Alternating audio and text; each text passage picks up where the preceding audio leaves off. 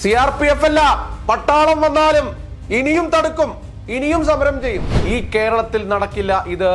ജനങ്ങളാൽ തിരഞ്ഞെടുക്കപ്പെട്ട പിണറായി വിജയൻ സർക്കാരാണ്. അതുകൊണ്ടാണല്ലോ ഗവർണർ ആരിഫ് മുഹമ്മദ് ഖാന് മിഠായി തെരുവിൽ ഇറങ്ങി മിഠായി കഴിക്കാനും അലവ് തിന്നാനും ഒക്കെ സാധിച്ചത്. ഇന്ത്യയിൽ എവിടെയും സാധിക്കാത്തവണ്ണം അങ്ങനെ സാധിച്ചത് കേരളമായത് കൊണ്ടാണ് ആരിഫ് മുഹമ്മദ് ഖാൻ. പാവം വന്ധ്യവയോധികനായ ഒരു ഗവർണറെ ആക്രമിച്ചല്ലോ എന്ന് പറഞ്ഞ് വിലപിക്കുകയാണ്. നമസ്കാരം. കഴിഞ്ഞ ദിവസം ഗവർണറുടെ കൊല്ലത്തെ ഷോയ്ക്ക് പിന്നാലെ. മുഖ്യമന്ത്രി പിണറായി വിജയൻ ഗവർണർ ആരിഫ് മുഹമ്മദ് ഖാനെ അതിരൂക്ഷമായി വിമർശിച്ചുകൊണ്ട് രംഗത്തെത്തിയിരുന്നു. ഇപ്പോഴിതാ സി പി ഐ എമ്മിന്റെ സംസ്ഥാന സെക്രട്ടറി എം വി ഗോവിന്ദനും ഗവർണർക്ക് കൊടുക്കേണ്ടത് കൊടുത്തിരിക്കുകയാണ്. ഗവർണറെ സംബന്ധിച്ചിടത്തോളം അദ്ദേഹത്തിന്റെ തീരുമാനം അല്ലെങ്കിൽ അദ്ദേഹത്തിന്റെ നിലപാട് അല്ലെങ്കിൽ അദ്ദേഹം ഇപ്പോൾ പ്രവർത്തിക്കുന്നത് തെരഞ്ഞെടുപ്പ് മുൻകണ്ടുകൊണ്ടുള്ള ചില ഗിമ്മിക്കുകൾ മാത്രമാണ്. ബി ജെ പിയെ സംബന്ധിച്ചിടത്തോളം കേരളത്തിൽ ഒരു സീറ്റ് പോലും കിട്ടാൻ പോകുന്നില്ല. ഇത് ഈ പരാജയം മനസ്സിലാക്കിയ ഗവർണറും സംഘവും ബി ജെ പിയും ആർ എസ് എസും ചേർന്ന് നടത്തുന്ന ഒരു പൊറോട്ട നാടകമാണിതെന്നാണ് എം വി ഗോവിന്ദൻ പറയുന്നത്. ഇലക്ഷനാണ് അവർ ഉദ്ദേശിക്കുന്നുണ്ടാകുക ഒന്നും നേടാൻ ഈ കേരളത്തിൽ സാധിക്കില്ല ബി ജെ പിക്ക്. ഒരു സീറ്റും കേരളത്തിൽ ബി ജെ പി കിട്ടില്ല.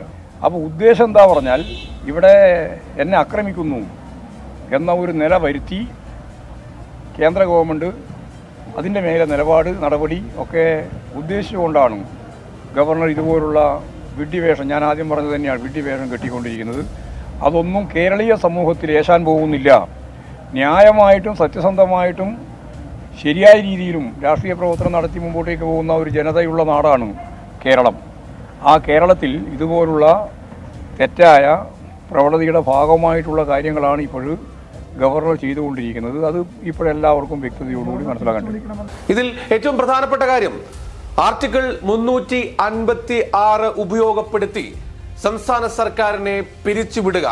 അല്ലെങ്കിൽ സംസ്ഥാന സർക്കാരിനെയും പിണറായി വിജയനെയും ഇല്ലാതാക്കാനാണ് ആർട്ടിക്കിൾ മുന്നൂറ്റി അൻപത്തി ആറ് ഉപയോഗപ്പെടുത്താനുള്ള നീക്കം നടക്കുന്നത്. പക്ഷേ അതും ഈ കേരളത്തിൽ നടക്കില്ല. ഇത് ജനങ്ങളാൽ തിരഞ്ഞെടുക്കപ്പെട്ട പിണറായി വിജയൻ സർക്കാരാണെന്ന് ഗോവിന്ദൻ മാഷ് പറയുമ്പോൾ അതിൽ നിന്നും തന്നെ വ്യക്തമാണ്.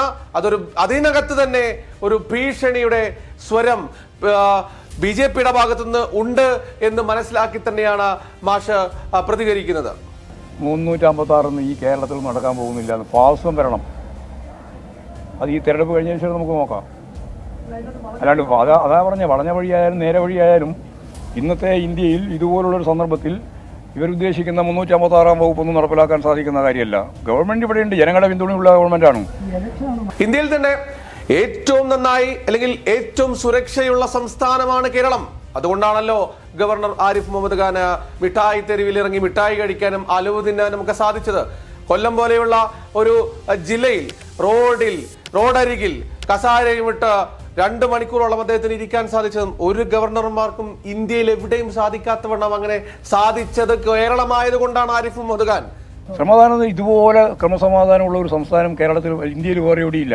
ഒരു ഗവർണർക്ക് ഒരു പുലിന്റെ മേലെ കുത്തിയിരിക്കാൻ ഇരുപത്തി ഒന്നര മണിക്കൂർ രണ്ട് മണിക്കൂർ ഇരിക്കാൻ സാധിച്ച വേറെ ഈ കേരളത്തിൽ ഏത് സംസ്ഥാനമുള്ളത് മുട്ടായി തെരുവിൽ പോയിട്ട് മുട്ടായി വാങ്ങാനും ഹലുവ വാങ്ങാനും സാധിക്കുന്ന ഒരു പോലീസുകാരന്റെ ഇല്ലാതെ പോകാൻ സാധിക്കുന്ന ഒരു ഗവർണർക്ക് ഈ കേരളത്തിലല്ലാതെ അങ്ങനെ പോകാൻ പറ്റുമോ? ഒരിടം കിട്ടുമോ ഇപ്പോൾ സി ആർ പി എഫിനെ കൊണ്ടുവന്നിരിക്കുകയാണ്. ഗവർണർക്ക് Z plus C R P എഫിന്റെ സുരക്ഷയാണ് ഇനി മുതൽ ഉണ്ടാകുക. എന്നാൽ സി ആർ പി എഫിനെ ഒന്നും കാണിച്ചതുകൊണ്ട് ഒന്നും നടക്കാൻ പോകുന്നില്ല. എസ് എഫ് ഐയുടെ സമരവുമായി ബന്ധപ്പെട്ടുകൊണ്ടായിരുന്നു. എസ് എഫ് ഐ ഈ സമരവുമായി ഇനി മുന്നോട്ട് പോകുമെന്ന് ചോദിച്ചപ്പോൾ സി പി ഐ സംസ്ഥാന സെക്രട്ടറി കൂടിയായ എം വി ഗോവിന്ദ മാഷ് പറയുന്നത് അവരാണ് തീരുമാനിക്കേണ്ടത്. പക്ഷേ അവരവരുടെ നിലപാട് പറഞ്ഞു കഴിഞ്ഞു. എസ് എഫ് ഐ എന്തായാലും സി ആർ പി എഫിനെ കണ്ട് പിന്നോട്ട് പോകാൻ പോകുന്നില്ല. സി ആർ പി എഫ് അല്ല. പട്ടാളം വന്നാലും ഇനിയും തടുക്കും ഇനിയും സമരം ചെയ്യും. ഇതാണ് ഇടതുപക്ഷത്തിന്റെ നട്ടലുള്ള നിലപാട്. ഇത് ആരിഫ് മുഹമ്മദ് ഖാനും ബി ജെ പിക്കും കൃത്യമായി അറിയാം എന്നുകൂടി സി പി എം മനസ്സിലാക്കുന്നു. അതുകൊണ്ടാണ് ഗോവിന്ദ മാഷി ഇങ്ങനെ പ്രതികരിക്കുന്നത്. സി ആർ പി ഉള്ളത് കൊണ്ട് പട്ടാളം വന്നുകൊണ്ട് ആരെങ്കിലും പ്രതിഷേധം അവസാനിപ്പിക്കുമോ പ്രതിഷേധിക്കാൻ തീരുമാനിച്ചവർ പ്രതിഷേധിച്ച് മുന്നോട്ടേക്ക് പോകില്ല അതിൽ പട്ടാളോ അതുപോലെ തന്നെ പോലീസോ ആണോ? അല്ല വേറെ സെൻട്രൽ ഫോഴ്സോ അതിൽ തടസ്സമായി നിൽക്കുക.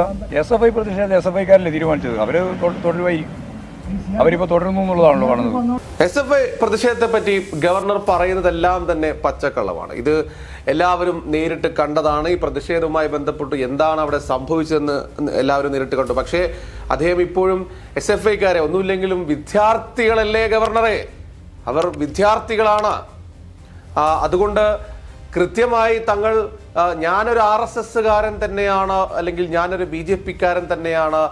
എനിക്ക് അല്ലെങ്കിൽ ഞങ്ങൾക്ക് ഇടതുപക്ഷത്തെ വിശിഷ്യ കമ്മ്യൂണിസ്റ്റ് പാർട്ടിയോട് താല്പര്യമില്ല ഇടതുപക്ഷ പാർട്ടികളോട് താല്പര്യമില്ല ഞങ്ങൾക്ക് അവരെ കാണുന്നത് ഇഷ്ടമല്ല എന്ന കാര്യമാണ് ഗവർണർ അവിടെ വ്യക്തമാക്കുന്നതെങ്കിൽ അതിനെതിരെ വീണ്ടും പ്രതിഷേധങ്ങൾ തുടരും എന്ന് തന്നെയാണ് എം വി ഗോവിന്ദൻ മാഷും പറയുന്നത്. കാരണം ഗവർണർ പറയുന്നത് പച്ചക്കളമാണെന്നാണ് പറയുന്നത്.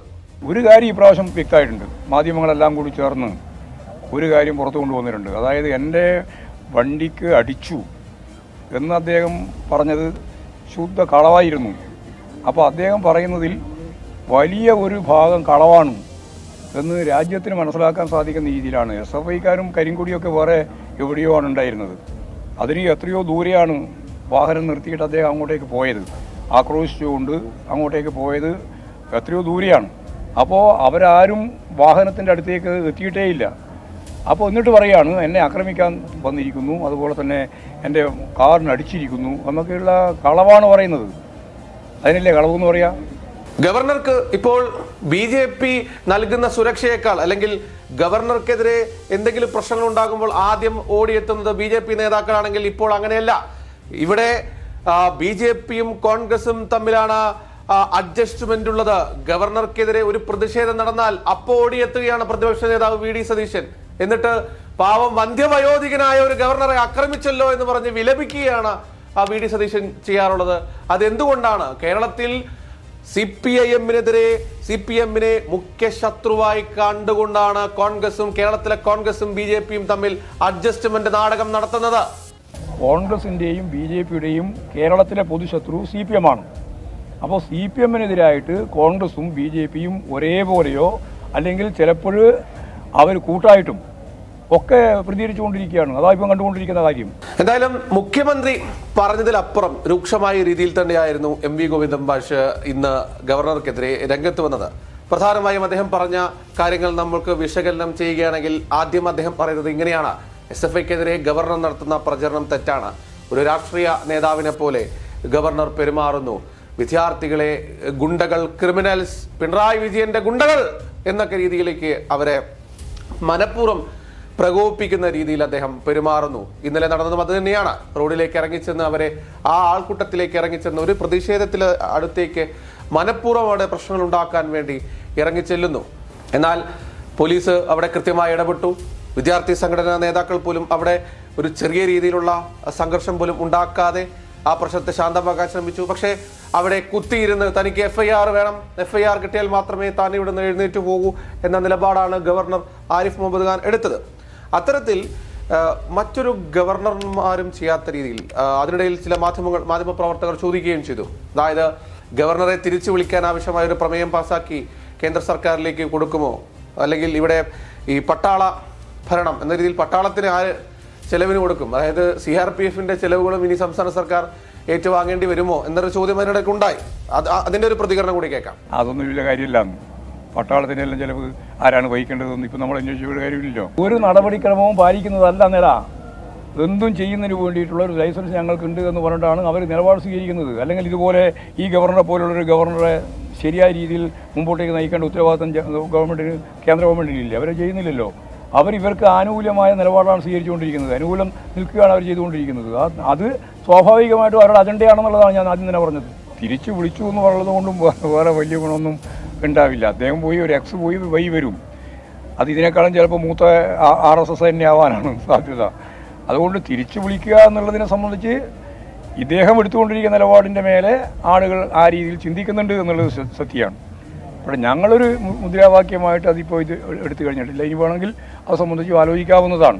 അങ്ങനെ അതിന്റെ മറുപടിക്ക് ശേഷം എം വി ഗോവിന്ദൻ മാഷ പറയുന്നത് ഈ തെരഞ്ഞെടുപ്പ് ശേഷം ഇത്തരത്തിൽ ഈ ഗവർണറെ തിരിച്ചു വിളിക്കാനുള്ള നടപടി ഉണ്ടോ എന്ന് ചോദിച്ചപ്പോൾ അദ്ദേഹം പറഞ്ഞു ഇനി ഇദ്ദേഹത്തെ തിരിച്ചു വിളിക്കാൻ ഒരു പ്രമേയം പാസ്സാക്കി കഴിഞ്ഞാൽ ആ പ്രമേയം പാസ്സാക്കിയാൽ അടുത്ത ആൾ വരുന്നത് ഇതിനേക്കാൾ വലിയ ആർ എസ് അതാണ് ബി ജെ പി ഇവിടെ നടപ്പാക്കാൻ പോകുന്നതും. എന്ന രീതിയിലും അദ്ദേഹം പരിഹസിക്കുകയും ചെയ്തിരുന്നു. എന്തായാലും സി പി എമ്മിന്റെ അല്ലെങ്കിൽ ഇടതുപക്ഷത്തിന്റെ നിലപാട് അത് വ്യക്തമാണ്. കഴിഞ്ഞ ദിവസം ഇ പി ജയരാജനുമൊക്കെ ഇതുമായി ബന്ധപ്പെട്ടുകൊണ്ട് പ്രതികരിച്ചു. ഇന്നിപ്പോൾ സി പി ഐഎമ്മിന്റെ സംസ്ഥാന സെക്രട്ടറിനെ പ്രതികരിക്കുന്നു. മുഖ്യമന്ത്രി ഇന്നലെ ഇക്കാര്യത്തിൽ ഒരു വ്യക്തത വരുത്തുന്നു. എന്തു വന്നാലും ഗോവിന്ദ മാഷ് പറയുന്ന പോലെ സി ആർ പി എഫ് അല്ല പട്ടാളം വന്നാലും ഗവർണറെ തടുക്കണമെങ്കിൽ തടുക്കും. ഗവർണർക്കെതിരെ ഇനിയും സമരമുറകൾ ഉണ്ടാകും. അതിൽ നിന്നും സി പി ഐ എമ്മിന്റെ വർഗ ബഹുജന സംഘടന കൂടിയായ എസ് എഫ് ഐയോ അല്ലെങ്കിൽ ഡിവൈഎഫ് ഒന്നും തന്നെ ഒരടി പിന്നോട്ട് പോകില്ല.